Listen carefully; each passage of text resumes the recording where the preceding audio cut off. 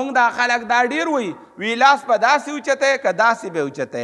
ادا ګوتې به ول دې غاړې ته راولې تر دې دی به اوچته که تر دې دی به اوچته مانځه کې وای زه وایم چې د غریب او د مسکین او د یتیم د مال نه بلا سور اوچته مال داسې کسان پیدا کې چې لاس به سور اوچته د غریب د مال نه داسې سړی پیدا کې چې د پردي مال نه د حرام مال نه بلا سور اوچته داسې سړی مالا پیدا کا چې د ګډون نه بلا سورو چتو مچې نه ګډون نه کوما داسې سړی مالا پیدا کا چې د ناجایزه ګټې نه ناجایزه باغ منافع نه داغې نه بلا سورو چتو مچې دا کار به نه کوما داسې سړی مالا پیدا کا چې غریب باندې به گزار نه کوما غریب او کمزور وال خدا برجه والی دا خو زوم والی شما دا ګور نرتوب نه دی غریب معقول کمال دی خو زما چې سوره زندگی ده نو ما چې ولیدلو نو ټول عمر چې دی نو بریتو ما ما خلکو معاف کړی دی او سورسترګې ما ما خلکو معاف کړی دی داړور او غاخور خلکو معاف کړی دی او پنجور خلکو معاف کړی دی او غریب چې دی نه هغه اوچت کړی دی او اخلاص کړی دی اوچت کړی دی او اخلاص کړی دی دا درې سورې به یو پشپک تماچی به یو دولس کلاشن کوپې به یو او یا لکه روپۍ کروړه به یو دا به پټې راکې او په دې لار به بیا راځیم نه او هغه غاړه باندې به راځي دا چل به دا ټول عمر غریب سره کیږي دا ټول عمر ناچار سره کیږي نر دې ته نه وي نر دې ته نه وي بادر دې ته نه وي غیرتی دی ته وي چې رسول الله ناست او سړی راغی او تور او سره وا او د نبی علی السلام سترګې ورغلې وي او چې نبی علی السلام د په کش باندې پوښ سترګې وغړولې نو بس هغه سړی یا روبر پیغمبر روب د نبی علی السلام یا روا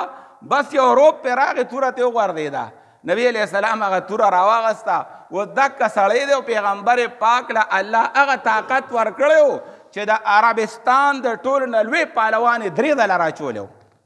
پیغمبر پاک صلی الله علیه وسلم دور پهلوان او تکړه چې یوازې په احزاب کې په هغه جنگ د خندق کې په هغه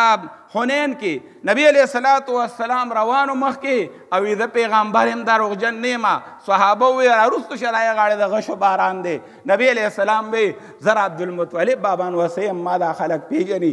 ز پیچه پرنه والا نیما هغه پیغمبر هغه نر بادر هغه تور راواغستا او هغه کافر ته وسره خیال لې هغه بس ستا اختیار دی او ستا واک دی هیڅوک ما نشي خلاصولی وسو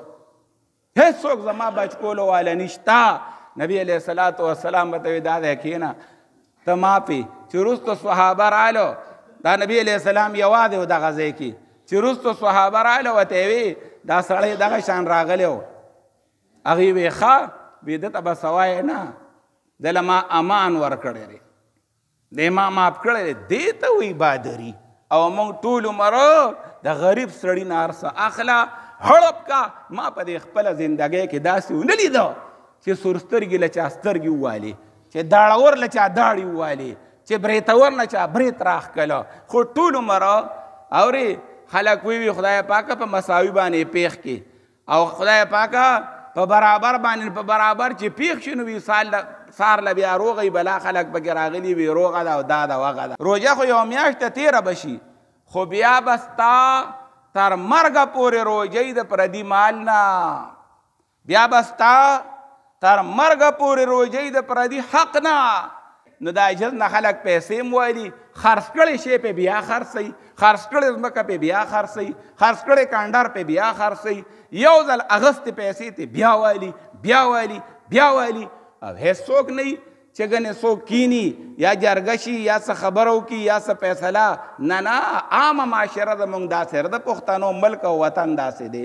دې خبرو ته ټینګېده خو ګرانی که چېرې دې ته ټینګېدا سان وې خو دا جومات به سمدس هره د جمعې پر ورځ باندې ډکو